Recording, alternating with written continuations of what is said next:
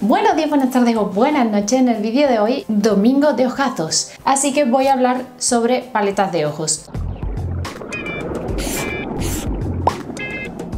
En concreto vi este tag en el canal de My Crazy Makeup de Leti hace unas semanas y decidí, of course, que tenía que hacer este vídeo porque me parece súper interesante. Voy a enseñar pues muchas paletas y como se puede ver es un título bastante gracioso, es que me pareció muy oportuno la verdad. Así que voy a relacionar unas cuantas preguntas sobre vida amorosa con paletas porque con seres humanos la cosa no anda bien. Obviamente no me iba a quedar solo en paletas de ojos, así que si quieres ver el miércoles mi relación amorosa con juegos de mesa, lo publicaré en el canal de Casilla de Salida. Sígueme para no perderte muchos vídeos interesantes en este canal también. Si te gusta este tipo de vídeos, los tags, vídeos donde se recopila información sobre muchas paletas y demás, dale a me gusta y coméntame cuál sería el próximo que querrías ver y suscríbete si no lo estás para obviamente no perdértelo. Y sin más dilación, vamos con el tag. Tengo aquí mi preciosa libreta de Harry Potter Primera pregunta, relación a largo plazo. Hace un tiempo no habría hecho esta paleta, pero sorprendentemente creo que mi relación más a largo plazo con una paleta es con Modern Renaissance de Anastasia. Es una de las últimas que me he comprado. Lo que me encanta de esta paleta es que tiene una gama cromática muy natural, pero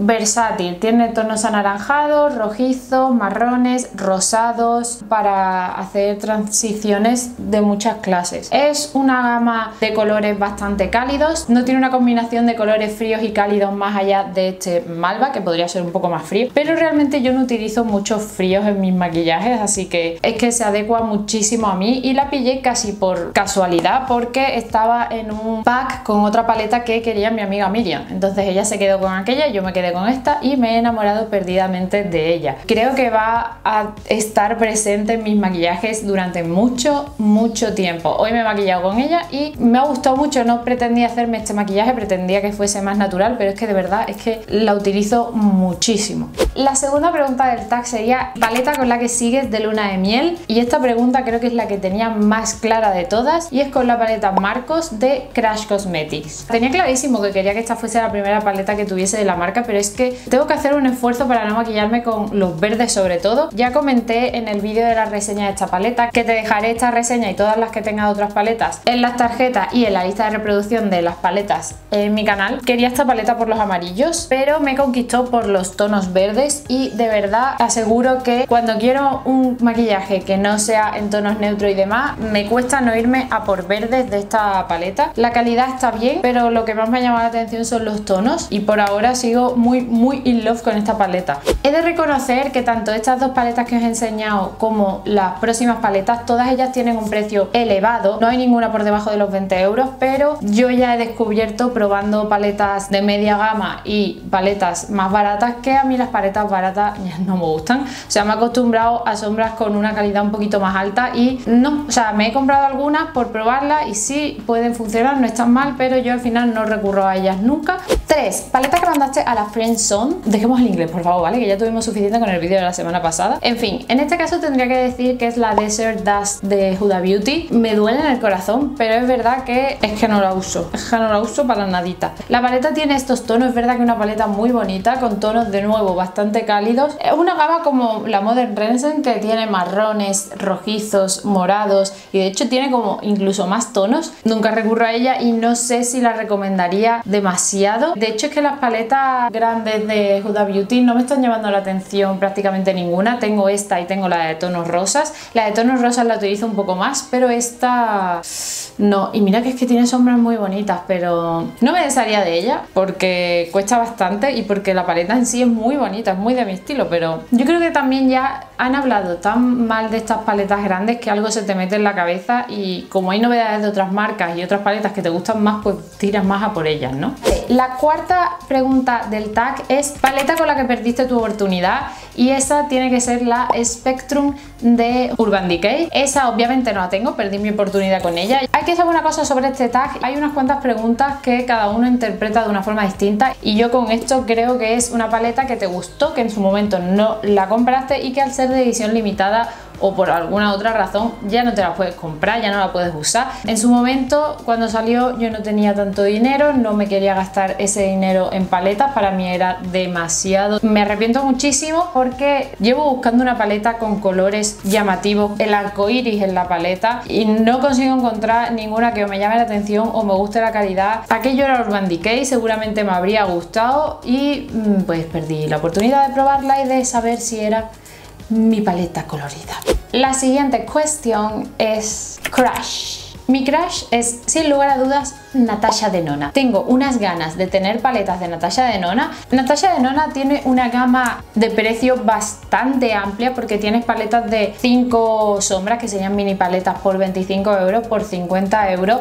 Después tienes otras que son de tamaño medio como esta por ejemplo, más o menos me la imagino yo porque no la tengo ninguna, que costarían unos 70 euros y después tienes las super hiper paletas que ya sobrepasan los 100 euros. Mi gran problema es que no encuentro una por la que yo diga prueba, lánzate. De las pequeñitas no hay ninguna que de verdad que me llame la atención que yo diga que la voy a utilizar a full, es que no tengo esos tonos, es que, es que, es que no, nada. De las demás de 100 euros, obviamente, es que ahora mismo no me voy a gastar ese dinero en paletas, ni se me mete en la cabeza, pero de las de 70, mmm, hay algunas que me gustan, como por ejemplo esta, pero considero que tengo paletas ya muy parecidas. La Bronze, que ha sido la última que ha salido, son tonos cálidos, que son tonos bronce, que me gusta mucho esa gama, pero es una gama de color demasiado restringida para una paleta para mí, porque yo necesito un poquito más de, juego.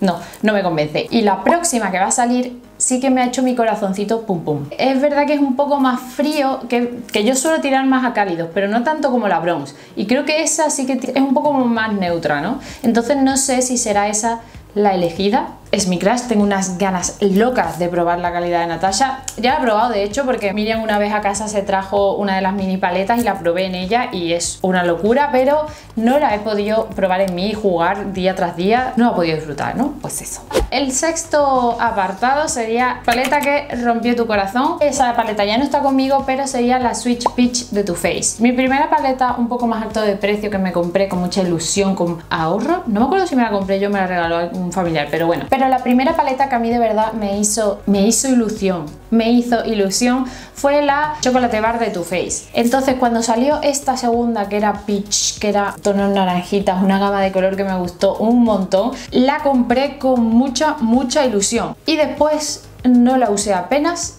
no me entusiasmaba la gama de color cuando la utilizaba o cómo se trabajaba o cómo quedaba mi ojo, no, no me gustaba y se la terminé vendiendo de hecho a una amiga. Sentí que mi corazón hacía crack y nunca más me he vuelto a fijar en una paleta de Too Faced. No me atrae, me parecen prácticamente todas iguales, no me gusta, a mí me desengañó y adiós.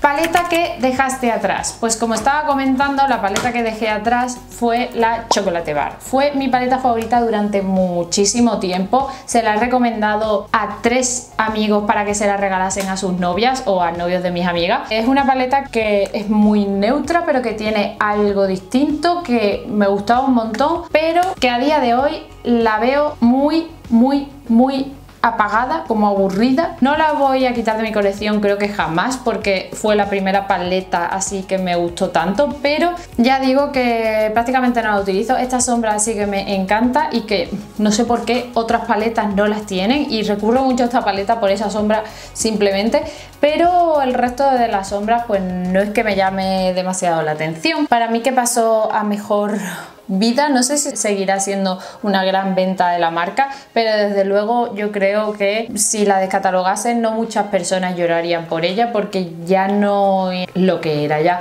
8. Se gustaban pero nunca salieron. Y en esta pregunta tengo que nombrar a la famosísima paleta Born to Ram de Urban Decay. Lo que causó esta paleta en el mundo beauty fue una barbaridad. Es verdad que es una paleta súper versátil y por esa razón, por esa gama de colores, por lo bonita que era la paleta, realmente a mí me gustó, pero nunca me la compré. Así es como yo interpreto esta pregunta. Es una paleta que sigue estando en tienda, por tanto podría comprármela, pero yo creo que jamás me la compraré. Me da la sensación de que al final no la usaría tanto. Es una paleta que tiene una gama de colores muy variados, que la puedes utilizar mucho, pero nunca tiraría por ella porque es que no sé explicarlo. Yo a lo mejor quiero rosas, a lo mejor me voy a la New De Huda Beauty. un neutro, pues me voy a la Modern Renaissance, marco me voy si quiero algo verde, algo amarillo, o sea, las tengo como muy clasificadas y esa estaría un poco en el limbo. Tuve un clon que es la de Technique, que también hice una reseña, pero por la calidad que tenía al final jamás no la utilizaba, eso es lo que comento de las de bajo precio, y como esa no la utilizaba, no me quiero arriesgar con la otra porque tiene un precio mayor, la verdad. Así que eso, es una paleta que me ha gustado mucho. Si a ti te ha gustado y crees que la calidad es muy buena y me la recomiendas, pues me lo podrías dejar por abajo en la cajita de comentarios, pero no creo que nadie me convenciese de comprarme, la verdad. Con todo lo que se ha hablado de ella, si no me han convencido ya las influencers que la siguen sacando en favoritos, yo creo que no me va a convencer nadie.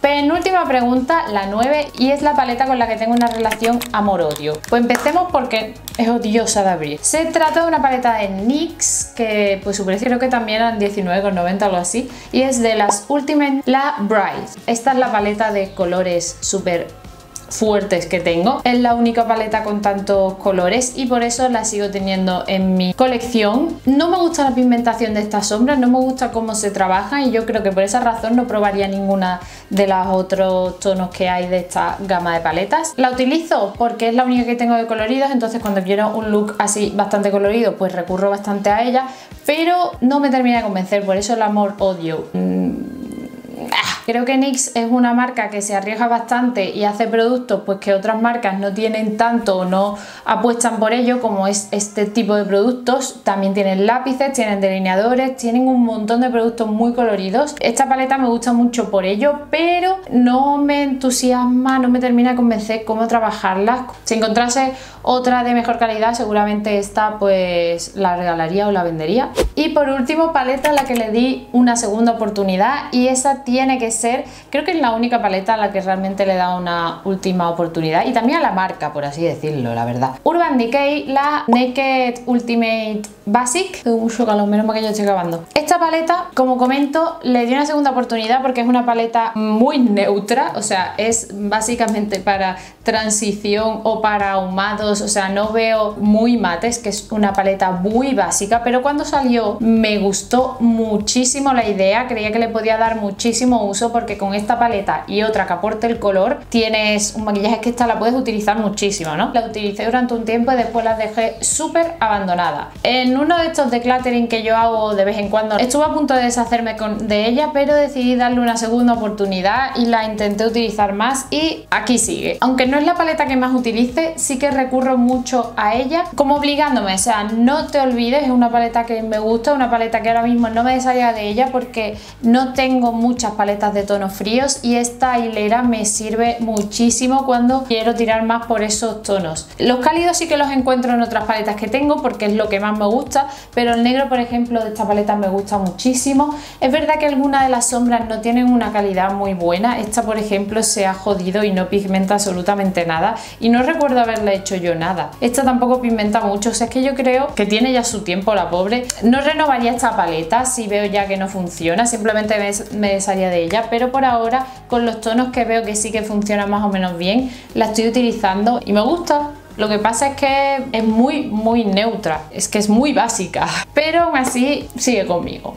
Y bueno, estos eran los productos que quería enseñar en el tag. Dentro de unos años puedo hacer otra edición y ver qué es lo que pienso porque seguramente muchas de las preguntas cambiarán. Te recuerdo que si te gusta el tema de las paletas de ojos o productos para los ojos, tienes una lista de reproducción en mi canal y que si te ha gustado el vídeo puedes dar a like, lo puedes compartir para que llegue a más gente y suscribirte para no perderte estos vídeos y muchos otros. Un besote enorme.